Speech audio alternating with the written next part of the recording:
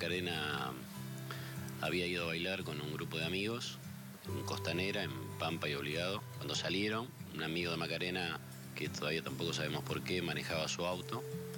Y cuando llegó a la intersección de esos dos semáforos, que es justo donde, donde termina Aeroparque, fue embestida por otro auto que era, que era conducido por un, piloto de Fórmula 4, un piloto de autos de carrera, que le provocó la gran lesión que hoy tiene, que en ese momento arrojó 1.46 de test de alcoholemia. Macarena durante estos tres años siempre estuvo al borde y al límite de la muerte.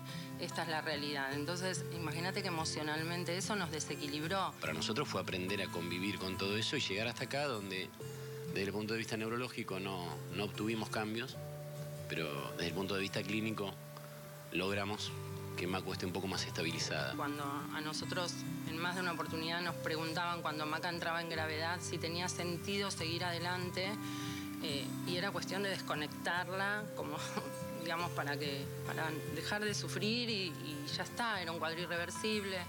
Y la verdad que nosotros siempre tratamos de pensar de que, que no podemos decidir la muerte de Maca, que, que esto es algo que, que- Dios o ella, hasta donde ella resista.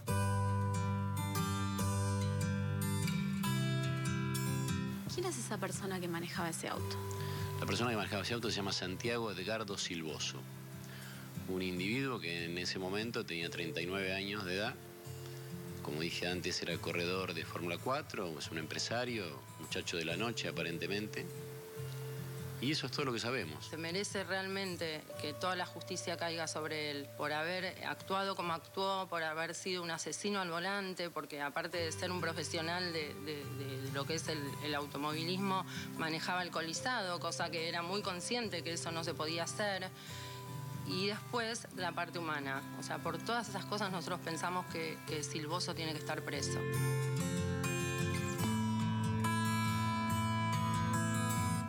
Con Macu no funcionó. El accidente fue en abril del 2015 y recién en julio del año 2017 se logró que, que a esta persona se le retire la licencia de conducir.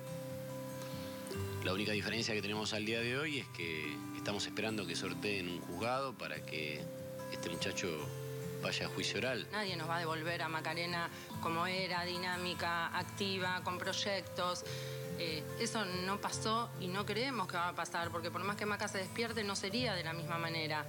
Pero pensamos que esto de que alguien pague por lo que le hizo a Macarena y por lo que nos hizo a nosotros como familia, eh, es, un- es como un alivio a- a todo. ¿Un tiempo después creen que esa justicia puede llegar? Yo sigo creyendo en los milagros.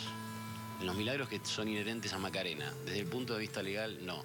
Ya la justicia fracasó. De todas maneras, nosotros vamos a seguir pidiendo justicia y vamos a seguir golpeando puertas y vamos a seguir haciendo notas y vamos a tratar de que el caso de Maca no quede en el olvido. Eh, ojalá el caso de Maca marque un precedente para que esto no vuelva a pasar y para que realmente las personas que manejan alcoholizadas y que, no sé, agarran un auto y van a la velocidad que van, saben que pueden matar a alguien.